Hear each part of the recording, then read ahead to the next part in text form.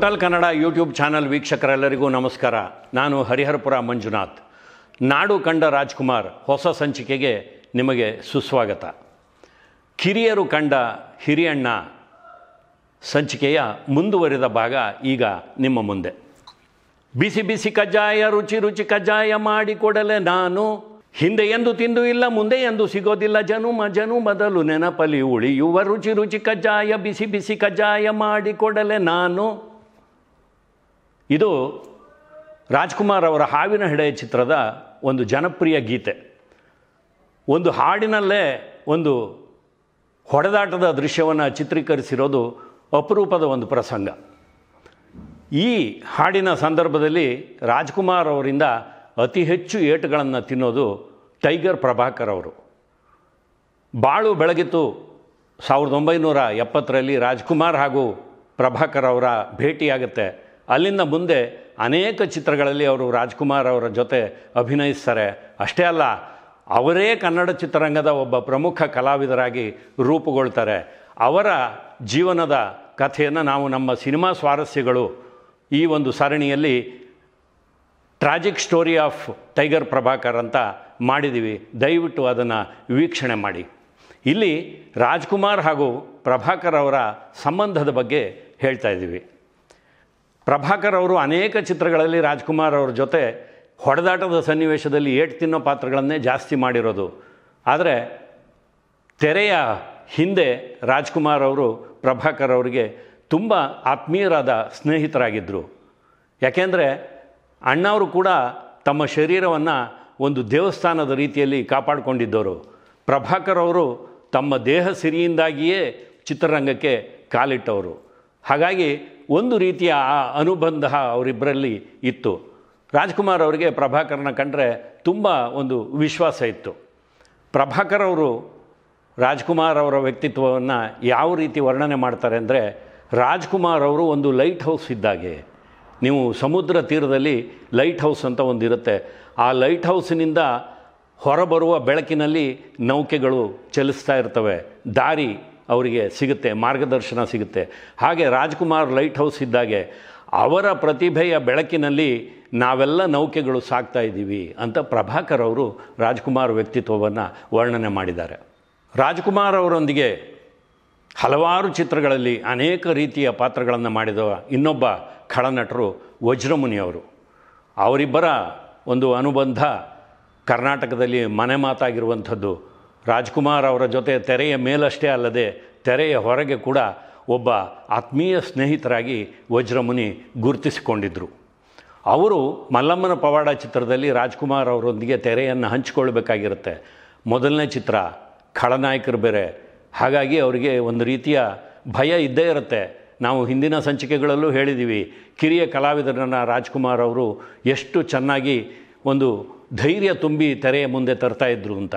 ನೋಡಿ, ಇಲ್ಲೂ ಅಷ್ಟೇ ಒಬ್ಬರಲ್ಲ ರಾಜ್ಕುಮಾರ್ ಅವ್ರ ಜೊತೆಗೆ ಬಿ. ಸರೋಜಾದೇವಿಯವರು, ದಕ್ಷಿಣ ಭಾರತದ ಪ್ರಸಿದ್ಧ ನಟಿ, ಆ ಇಬ್ಬರು ಕಲಾವಿದರ ಎದುರಿಗೆ ವಜ್ರಮುನಿಯವರು ಹೋಗಬೇಕು. ಆಗ ರಾಜ್ಕುಮಾರ್ ಅವರು, ವಜ್ರಮುನಿಯವರೇ, ನೀವು ನಾಟಕದಿಂದ ಬಂದಿರೋರು, ಪ್ರಭಾಕರ ಶಾಸ್ತ್ರಿ ಅವರ ಗರಡಿಯಲ್ಲಿ ಪಳಗಿರೋರು, ನೀವು ನಮಗಿಂತ ಜೋರಾಗಿದ್ದೀರಾ, ಧೈರ್ಯವಾಗಿ ಮಾಡಿ, ಯಾವ ತೊಂದರೆನೂ ಆಗಲ್ಲ ಅಂತ ಸರೋಜಾದೇವಿಯವ್ರ ಜೊತೆ ಸೇರಿ ಅವರಿಗೆ ಧೈರ್ಯವನ್ನು ಕೊಡ್ತಾರೆ.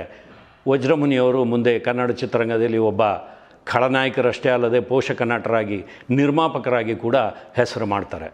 ವಜ್ರಮುನಿಯವರಿಗೆ ರಾಜ್ಕುಮಾರ್ ಅವರ ಮೇಲೆ ಅಷ್ಟೊಂದು ಆತ್ಮೀಯತೆ ಬೆಳೆಯೋದಕ್ಕೆ ಅನೇಕ ಕಾರಣಗಳಿವೆ. ಅದರಲ್ಲಿ ಒಂದು ಕಾರಣ ಅಂದರೆ ಸಂಪತ್ತಿಗೆ ಸವಾಲ್. ಸಂಪತ್ತಿಗೆ ಸವಾಲ್ ಒಂದು ಉತ್ತರ ಕರ್ನಾಟಕದ ಜನಪ್ರಿಯ ನಾಟಕ. ಆ ನಾಟಕ ಸಿನಿಮಾ ಆಗಿದ್ದೇ ಒಂದು ದೊಡ್ಡ ಕತೆ. ಅದನ್ನು ಮುಂದೆ ಯಾವುದಾದ್ರೂ ಸಂಚಿಕೆಯಲ್ಲಿ ಹೇಳ್ತೀವಿ. ಆ ಚಿತ್ರದ ಸಾಹುಕಾರನ ಪಾತ್ರಕ್ಕೆ ಯಾವ ನಟರನ್ನು ಆಯ್ಕೆ ಮಾಡ್ಕೋಬೇಕು ಅನ್ನುವ ಚರ್ಚೆ ನಡೆದಾಗ ರಾಜ್ಕುಮಾರ್ ಅವರು ಒಂದೇ ಹಠ ಹಿಡಿತಾರೆ. ಅದಕ್ಕೆ ವಜ್ರಮುನಿಯವರೇ ಆಗಬೇಕು. ಅವರ ಕಂಠ ಅದಕ್ಕೆ ತುಂಬ ಸೂಕ್ತವಾಗಿದೆ. ಅಭಿನಯದಲ್ಲಂತೂ ಅವರನ್ನು ಕೇಳೋ ಹಾಗೆ ಇಲ್ಲ. ಈ ಪಾತ್ರಕ್ಕೆ ಅವರೇ ಬೇಕು ಅಂತ ಹೇಳಿರ್ತಾರೆ. ಆ ರೀತಿ ಒಂದು ಪ್ರೀತಿಯಿಂದ ಒಂದು ಸ್ಮರಣೀಯವಾದ ಪಾತ್ರವನ್ನು ವಜ್ರಮುನಿಯವರಿಗೆ, ರಾಜ್ಕುಮಾರ್ ಅವರ ಹಠದಿಂದಾಗಿ ಸಿಗತ್ತಲ್ಲ. ಹಾಗಾಗಿ ವಜ್ರಮುನಿಯವರಿಗೆ ಮುಂದೆ ಜೀವನದುದ್ದಕ್ಕೂ ರಾಜ್ಕುಮಾರ್ ಅವರಂದರೆ ಅತೀವವಾದ ಗೌರವ ಆತ್ಮೀಯತೆ ಹಾಗೂ ಪ್ರೀತಿ. ಮತ್ತೊಬ್ಬ ಕಿರಿಯ ಕಲಾವಿದರು, ಅಂದರೆ ರಾಜ್ಕುಮಾರ್ ಅವರ ಕಾಲಕ್ಕೆ ಹೋಲಿಸಿದರೆ ಕಿರಿಯ ಕಲಾವಿದರು, ಇವತ್ತು ಅವರು ಒಬ್ಬ ಹಿರಿಯ ಕಲಾವಿದರು, ಸುಂದರ್ ರಾಜ್ ಅವರು. ಸುಂದರ್ ರಾಜ್ ಅವರು ಆಕಸ್ಮಿಕ ಚಿತ್ರದಲ್ಲಿ ರಾಜ್ಕುಮಾರ್ ಅವರ ಜೊತೆ ತೆರೆಯನ್ನು ಹಂಚಿಕೊಂಡಿದ್ದಾರೆ. ನೋಡಿ, ಸುಂದರ್ ರಾಜ್ ಅವರ ಅನುಭವಗಳನ್ನು, ಅವರ ಚಿತ್ರ ಜೀವನದ ಯಾನವನ್ನು ನಮ್ಮದೇ ಚಾನಲ್ನಲ್ಲಿ ಮನಸಾರೆ ಕಾರ್ಯಕ್ರಮದಲ್ಲಿ ಈಗಾಗಲೇ ನಾವು ಸಾಕಷ್ಟು ಸಂಚಿಕೆಗಳನ್ನು ಪ್ರಸಾರ ಮಾಡಿದ್ದೀವಿ. ಅಲ್ಲಿ ಅವರು ತಮ್ಮ ಅನುಭವಗಳನ್ನೆಲ್ಲ ಹೇಳಿದ್ದಾರೆ. ಅವರು ಒಂದು ರಾಜ್ಕುಮಾರ್ ಅವರ ಬಗ್ಗೆ ಒಂದು ವಿಶಿಷ್ಟವಾದ ವಿಚಾರವನ್ನು ಗುರುತಿಸಿದ್ದಾರೆ. ಅದೇನಪ್ಪ ಅಂದರೆ, ಭಾಷೆಗಾಗಿ ಹೋರಾಡಿದಂಥ ಸಿನಿಮಾ ಕಲಾವಿದ ಅಂದರೆ ನಾಯಕರು ನಮಗೆ ಕಾಣಸಿಗೋದು ಒಂದು ಕರ್ನಾಟಕದಲ್ಲಿ ರಾಜ್ಕುಮಾರ್ ಅವರನ್ನು ಬಿಟ್ಟರೆ ಬಂಗಾಳದಲ್ಲಿ ಉತ್ತಮ್ ಕುಮಾರ್. ಉತ್ತಮ್ ಕುಮಾರ್ ಅವರು ಬಂಗಾಳದಲ್ಲಿ ಭಾಷೆಗಾಗಿ ಹೋರಾಡಿದಂಥ ಒಬ್ಬ ಕಲಾವಿದರು. ಅವರು ಕೂಡ ಅಲ್ಲಿ ಇಲ್ಲಿ ರಾಜ್ಕುಮಾರ್ ಅವರು ಎಷ್ಟು ಜನಪ್ರಿಯರೋ ಬಂಗಾಳದಲ್ಲಿ ಅವರು ಕೂಡ ಹಾಗೇ ಜನಪ್ರಿಯರಾಗಿದ್ದರು ಆಕಸ್ಮಿಕ ಚಿತ್ರದಲ್ಲಿ ರಾಜ್ಕುಮಾರ್ ಅವರ ಕಾಂಬಿನೇಷನ್ನಲ್ಲಿ ಸುಂದರ್ ರಾಜ್ ಅವರ ಕೆಲವು ದೃಶ್ಯಗಳನ್ನು ನಿರ್ದೇಶಕರು ಅದರ ಉದ್ದ ಜಾಸ್ತಿ ಆಗುತ್ತೆ ಅನ್ನುವ ಕಾರಣಕ್ಕಾಗಿ ಕತ್ರಿ ಪ್ರಯೋಗಕ್ಕೆ ಒಳಪಡಿಸ್ತಾರೆ. ಆಗ ಸುಂದರರಾಜ್ ಅವರಿಗೆ ಬಹಳ ಬೇಸರ ಆಗುತ್ತೆ. ಅವರು ತಮ್ಮ ಸಂಕಟವನ್ನು ತೋಡ್ಕೋತಾ ಇದ್ದಾಗ ರಾಜ್ಕುಮಾರ್ ಅವರೇ ಮಧ್ಯ ಪ್ರವೇಶಿಸಿ ಆ ದೃಶ್ಯಗಳನ್ನೆಲ್ಲ ಮತ್ತೆ ಸೇರಿಸುವಂತಹ ಒಂದು ಉದಾತ್ತ ಮನೋಭಾವವನ್ನು ತೋರಿದ್ರು ಅನ್ನೋದನ್ನು ಸುಂದರರಾಜ್ ಅವರು ಹೇಳ್ಕೊಂಡಿದ್ದಾರೆ. ರಾಜ್ಕುಮಾರ್ ಅವರ ಚಿತ್ರಜೀವನದ ಎರಡು ಮಹತ್ವದ ಚಿತ್ರಗಳು, ಒಂದು ಭಾಗ್ಯವಂತರು, ಇನ್ನೊಂದು ಸನಾದಿ ಅಪ್ಪಣ್ಣ. ಈ ಎರಡೂ ಚಿತ್ರಗಳಲ್ಲಿ ರಾಜ್ಕುಮಾರ್ ಅವರ ಜೊತೆ ಪ್ರಮುಖ ಪಾತ್ರದಲ್ಲಿ ತೆರೆಯನ್ನು ಹಂಚಿಕೊಂಡವರು ಕನ್ನಡ ಬೆಳ್ಳಿತೆರೆಯ ಒಬ್ಬ ಪ್ರತಿಭಾವಂತ ನಟರಾದ ಅಶೋಕ್ ಅವರು. ನೋಡಿ, ಈ ಎರಡೂ ಚಿತ್ರಗಳಲ್ಲಿ ಅಶೋಕ್ ಅವ್ರದ್ದು ರಾಜ್ಕುಮಾರ್ ಅವರ ಮಗನ ಪಾತ್ರವೇ. ಆದರೆ ಒಂದು ರೀತಿಯ ಈ ವಿಲನ್ ಛಾಯೆ ಇರುವಂಥದ್ದು. ಅಂದರೆ ಅಪ್ಪನಿಗೆ ಒಂದು ರೀತಿಯಲ್ಲಿ ತಿರುಗಿ ಬೀಳುವ ಮಗನ ಪಾತ್ರ. ಅಂಥ ಪಾತ್ರವನ್ನು ಹೇಗಪ್ಪ ಮಾಡೋದು ಅಂತ ಅಶೋಕ್ ಅವರಿಗೆ, ಅದು ರಾಜ್ಕುಮಾರ್ ಅವ್ರ ಜೊತೆ ನಿಂತು ಹೇಗೆ ಮಾಡೋದು ಅಂತ ತುಂಬ ಚಿಂತೆಯಲ್ಲಿರ್ತಾರೆ.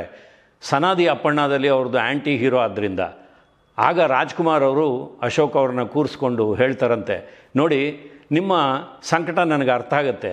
ನೀವು ನಿಜ ಜೀವನದಲ್ಲಿ ತಂದೆ ತಾಯಿಯರನ್ನ ತುಂಬ ಪ್ರೀತಿಯಿಂದ ನೋಡ್ಕೋತೀರಿ.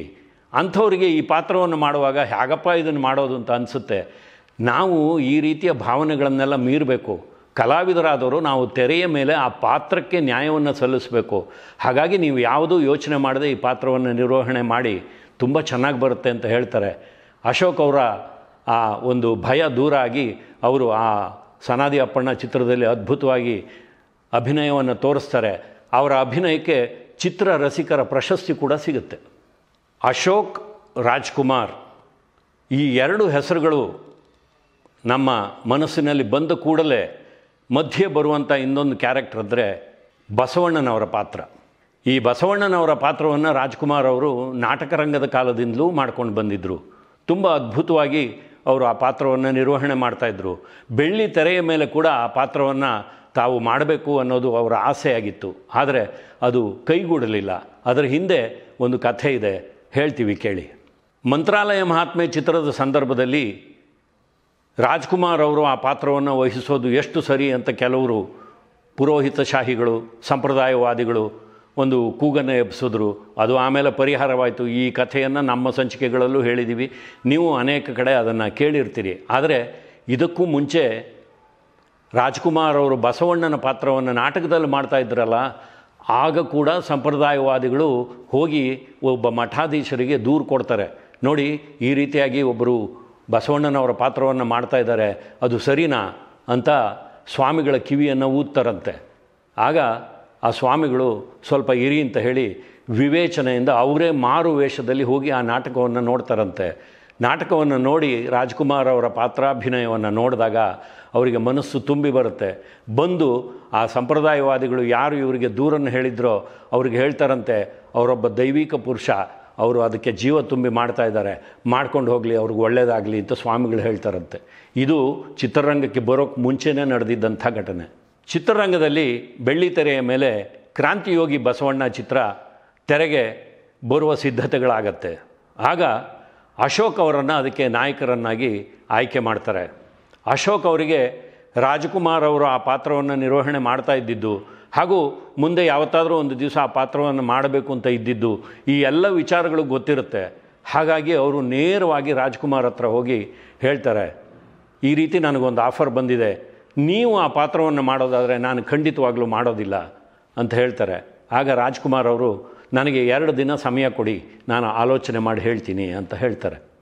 ಮುಂದೆ ರಾಜ್ಕುಮಾರ್ ಅವರು ಮದ್ರಾಸಿಗೆ ಹೋಗಿರ್ತಾರೆ. ಅಲ್ಲಿಂದ ಅಶೋಕ್ ಅವರಿಗೆ ಟ್ರಂಕಾಲ್ ಕಾಲ್ ಬರುತ್ತೆ. ಸರಿಯಾಗಿ ಹೇಳಿದ ಎರಡು ದಿನಕ್ಕೆ ಸರಿಯಾಗಿ ಅವರಿಗೆ ಟ್ರಂಕಾಲ್ ಕಾಲ್ ಬರುತ್ತೆ. ಹೇಳ್ತಾರೆ ರಾಜ್ಕುಮಾರ್ ಅವರು, ನೋಡಿ, ನಾನು ಈ ಚಿತ್ರವನ್ನು ಮಾಡಲ್ಲ, ನೀವೇ ಆ ಪಾತ್ರವನ್ನು ಮಾಡಿ ನಿಜವಾಗಲೂ ನೀವು ಚೆನ್ನಾಗಿ ಮಾಡ್ತೀರಾ? ನಿಮಗೆ ಒಳ್ಳೆಯದಾಗಲಿ ಅಂತ ಹಾರೈಸ್ತಾರೆ. ಅಷ್ಟೇ ಅಲ್ಲ, ಆ ಪಾತ್ರವನ್ನು ನಿರ್ವಹಣೆ ಮಾಡೋಕ್ಕೆ ಮುಂಚೆ ಒಂದು ಸಾರಿ ಮಂತ್ರಾಲಯಕ್ಕೆ ಹೋಗಿ ಬನ್ನಿ ಅಂತ ಒಂದು ಸಲಹೆಯನ್ನು ಕೂಡ ಕೊಡ್ತಾರೆ. ನೋಡಿ, ರಾಜ್ಕುಮಾರ್ ಅಂತವರು ಹಾಗೆ ಬೆನ್ನು ತಟ್ಟಿದಾಗ ಅಶೋಕ್ ಅವರಿಗೆ ಮನಸ್ಸು ತುಂಬಿ ಬರುತ್ತೆ. ಅವರು ರಾಜ್ಕುಮಾರ್ ಅವರ ಸಲಹೆಯ ಮೇರೆಗೆ ಮಂತ್ರಾಲಯಕ್ಕೆ ಹೋಗ್ತಾರೆ. ಗುರುರಾಯರನ್ನು ಬೇಡ್ಕೋತಾರೆ. ಆ ಪಾತ್ರವನ್ನು ನಿರ್ವಹಣೆ ಮಾಡ್ತಾರೆ. ಅಷ್ಟೇ ಅಲ್ಲ ಹೇಗೆ ರಾಜ್ಕುಮಾರ್ ಅವರು ಮಂತ್ರಾಲಯ ಮಹಾತ್ಮೆ ಸಂದರ್ಭದಲ್ಲಿ ಮಾಂಸಾಹಾರವನ್ನೆಲ್ಲ ಬಿಟ್ಟಿದ್ರೋ ಅದೇ ರೀತಿಯಲ್ಲಿ ಕ್ರಾಂತಿಯೋಗಿ ಬಸವಣ್ಣ ಪಾತ್ರ ಮಾಡುವಾಗ ಅಶೋಕ್ ಅವರು ಕೂಡ ಆ ಮಾಂಸಾಹಾರವನ್ನು ತ್ಯಾಜ್ಯ ಮಾಡಿ ಒಂದು ಭಕ್ತಿ ಭಾವದಿಂದ ಆ ಪಾತ್ರಕ್ಕೆ ಜೀವವನ್ನು ತುಂಬುತ್ತಾರೆ ಇದು ರಾಜ್ಕುಮಾರ್ ಅವರಂಥ ಹಿರಿಯ ಕಲಾವಿದರಿಂದ ನಮ್ಮ ಚಿತ್ರರಂಗದ ಕಿರಿಯ ಕಲಾವಿದರು ಕಲಿತಂಥ ಅಮೂಲ್ಯವಾದ ಪಾಠಗಳು. ಅಶೋಕ್ ಅವರ ಮೇಲೆ ವಿಮರ್ಶಕರ ವಲಯದಲ್ಲಿ ಹಾಗೂ ಪ್ರೇಕ್ಷಕರಲ್ಲಿ ಒಂದು ದೂರಿತ್ತು. ಅದೇನಪ್ಪ ಅಂದರೆ ಅವರು ರಾಜ್ಕುಮಾರ್ ಅವರ ಅಭಿನಯವನ್ನು ಅನುಕರಣೆ ಮಾಡ್ತಾರೆ ಅಂತ. ನೋಡಿ, ನೋಡೋದಕ್ಕೆ ಸ್ವಲ್ಪ ರಾಜ್ಕುಮಾರ್ ಅವರ ಹೋಲಿಕೆ ಅಶೋಕ್ ಅವರಲ್ಲಿತ್ತು. ಹಾಗಾಗಿ ಒಬ್ಬ ನಟ ಪಾತ್ರ ಮಾಡುವಾಗ ಎಲ್ಲೋ ಒಂದು ಕಡೆ ಪ್ರೇಕ್ಷಕರಿಗೆ ಅವನನ್ನೇ ಹೋಲುವ ಇನ್ನೊಬ್ಬ ನಟನ ಛಾಯೆ ಕಾಣಿಸುತ್ತೇನೋ ಹೇಳೋಕ್ಕಾಗಲ್ಲ. ನಮ್ಮ ಕಮಲ ಹಾಸನ್ ಅವರ ಅಭಿನಯವನ್ನು ನಾವು ರಮೇಶ್ ಅವರಲ್ಲಿ, ಕೋಕಿಲಾ ಮೋಹನ್ ಅವರಲ್ಲಿ, ಹೀಗೆಲ್ಲ ಅನೇಕರಲ್ಲಿ ಕಾಣ್ತೀವಲ್ಲ, ಆ ರೀತಿಯ ಒಂದು ಛಾಯೆ ಇರುತ್ತೆ. ಅಶೋಕ್ ಅವರಿಗೆ ಆ ಒಂದು ದೂರಿನ ಬಗ್ಗೆ ಒಂದು ರೀತಿಯ ಬೇಸರ ಇರುತ್ತೆ. ಅವರು ನೇರವಾಗಿ ರಾಜ್ಕುಮಾರ್ ಅವರ ಹತ್ರನೇ ಹೋಗಿ ಹೇಳ್ತಾರೆ, ಎಲ್ಲರೂ ನಾನು ನಿಮ್ಮನ್ನು ಅನುಕರಣೆ ಮಾಡ್ತೀನಿ ಅಂತ ಹೇಳ್ತಾರೆ. ನಾನು ಏನು ಮಾಡಲಿ? ನಾನು ಪ್ರಯತ್ನಪೂರ್ವಕವಾಗಿ ಅದನ್ನೇನು ಮಾಡ್ತಿಲ್ಲ. ಯಾವುದೋ ಒಂದು ನಿಮ್ಮನ್ನು ಹೋಲುವಂಥ ಒಂದು ಮುಖಭಾವ ಇರೋದರಿಂದ ಎಲ್ಲೋ ಒಂದು ಆ ಛಾಯೆ ಬರುತ್ತೇನೋ, ನಾನು ಏನು ಮಾಡಲಿ ಅಂತ ತಮ್ಮ ಅಸಹಾಯಕತೆಯನ್ನು ತೋಡ್ಕೋತಾರೆ. ಆಗ ಅಣ್ಣ ಅವರು ಸಾಂತ್ವನ ಹೇಳ್ತಾರೆ, ನೋಡಿ ಅಶೋಕ್, ನಾನು ಕೂಡ ನಾಟಕ ರಂಗದಲ್ಲಿದ್ದಾಗ ಸುಬ್ಬಯ್ಯ ನಾಯ್ಡು ಅವರನ್ನು, ನಮ್ಮ ಅಪ್ಪಾಜಿಯವರ ಅಭಿನಯವನ್ನು ನಾನು ಕೂಡ ಅನುಕರಣೆ ಮಾಡ್ತಾ ಇದ್ದೆ. ಸ್ವಲ್ಪ ಮಟ್ಟಿನ ಅನುಕರಣೆ ನಮ್ಮ ಅಭಿನಯದಲ್ಲಿ ಬರುತ್ತೆ ಅದಕ್ಕೇನೂ ಮಾಡೋಕ್ಕಾಗಲ್ಲ. ಆದರೆ ಹೋಗ್ತಾ ಹೋಗ್ತಾ ನಾವು ಅದನ್ನ ಬಿಟ್ಟು ನಮ್ಮದೇ ಆದ ಒಂದು ಒಂದು ಅಭಿನಯವನ್ನು ರೂಢಿಸ್ಕೋಬೇಕು. ಅದನ್ನು ಮಾಡ್ತಾ ಹೋಗಿ ದೂರುಗಳಿಗೆಲ್ಲ ತಲೆ ಕೆಡಿಸ್ಕೋಬೇಡಿ ಅಂತ ಧೈರ್ಯವನ್ನು ಹೇಳ್ತಾರೆ. ಅಶೋಕ್ ಅವರು ಅದಾದ ಮೇಲೆ ರಾಜ್ಕುಮಾರ್ ಅವರ ಚಿತ್ರಗಳನ್ನು ನೋಡೋದೇ ಬಿಟ್ಟುಬಿಡ್ತಾರೆ ಯಾಕೆಂದರೆ ನೋಡಿದ್ರೆ ಅವರ ಛಾಯೆ ನನ್ನ ಅಭಿನಯದಲ್ಲಿ ಎಲ್ಲಿ ಬರುತ್ತೋ ಅಂತ ಹೇಳಿ ಅವರು ಆ ಚಿತ್ರಗಳನ್ನು ನೋಡೋದೇ ಬಿಟ್ಟುಬಿಡ್ತಾರೆ ಅಶೋಕ್ ಒಂದು ಕಡೆ ಹೇಳ್ಕೊಂಡಿದ್ದಾರೆ, ಹಾಗೆ ಮಾಡಿದ್ರಿಂದ ರಾಜ್ಕುಮಾರ್ ಅವರು ಎಷ್ಟೋ ಅಮೂಲ್ಯ ಚಿತ್ರಗಳನ್ನು ನಾನು ಅವತ್ತು ನೋಡೋಕ್ಕಾಗಲಿಲ್ಲ ಇವತ್ತು ಕೂತ್ಕೊಂಡು ಅದನ್ನೆಲ್ಲ ನೋಡ್ತಾ ಇದ್ದೀನಿ ಅಂತ. ಇಷ್ಟಾಗಿ ಕೂಡ ನಮಗೆ ಮಣಿ ಮುರುಗನ್ ಅವರ ನಿರ್ದೇಶನದ ರಾಜ ಮಹಾರಾಜ ಅನ್ನುವ ಒಂದು ಚಿತ್ರದಲ್ಲಿ ಅಶೋಕ್ ಅವರು ದ್ವಿಪಾತ್ರ ಅಭಿನಯ ಮಾಡಿದ್ದಾರೆ. ಒಂದು ಪಾತ್ರ, ಶ್ರೀಮಂತನ ಪಾತ್ರ, ಇನ್ನೊಂದು ಆತನ ಆತ್ಮಸಾಕ್ಷಿ. ಆ ಆತ್ಮಸಾಕ್ಷಿಯ ಪಾತ್ರ ಇದೆಯಲ್ಲ, ಅದರ ಸಂಭಾಷಣೆ ಹೇಳುವ ರೀತಿ, ಆಂಗಿಕ ಭಾವ, ಇವೆಲ್ಲವೂ ಸ್ವಲ್ಪ ರಾಜ್ಕುಮಾರ್ ಅವರನ್ನು ಹೋಲುವ ಹಾಗೆ ಅವರು ಮಾಡಿದರು. ಅದನ್ನು ಇಟ್ಕೊಂಡು ಪತ್ರಿಕೆಯವರು ಹಾಗೂ ವಿಮರ್ಶಕರು, ಜೊತೆಗೆ ಪ್ರೇಕ್ಷಕರು ಕೂಡ ಆ ರೀತಿಯ ಅನುಕರಣೆ ಸರಿಯಲ್ಲ ಅಂತ ಹೇಳಿದ್ದು. ಮುಂದೆ ಅನೇಕ ಚಿತ್ರಗಳಲ್ಲಿ ಅಶೋಕ್ ಅವರು ಆ ಒಂದು ದೋಷವನ್ನು ನಿವಾರಿಸಿಕೊಂಡು ತಮ್ಮದೇ ಆದ ಒಂದು ಛಾಪನ್ನು ಮೂಡಿಸಿದ್ದಾರೆ. ಹೀಗೆ ರಾಜ್ಕುಮಾರ್ ಅವರು ಕನ್ನಡ ಚಿತ್ರರಂಗದಲ್ಲಿ ಅನೇಕ ಪ್ರತಿಭೆಗಳು ಬೆಳಗೋದಕ್ಕೆ ಅವಕಾಶ ಮಾಡಿಕೊಟ್ಟಿದ್ದಾರೆ. ಅಂಥ ಪ್ರತಿಭೆಗಳ ವಿಚಾರವನ್ನು ಮುಂದೆ ಅವಕಾಶವಾದಾಗ ನಮ್ಮ ಸಂಚಿಕೆಗಳಲ್ಲಿ ನಿಮಗೆ ತಿಳಿಸ್ತಾ ಇರ್ತೀವಿ ಅಂತ ಹೇಳಿ ಈ ಸಂಚಿಕೆಯನ್ನು ಮುಗಿಸ್ತಾ ಇದ್ದೀವಿ. ನಮಸ್ಕಾರ.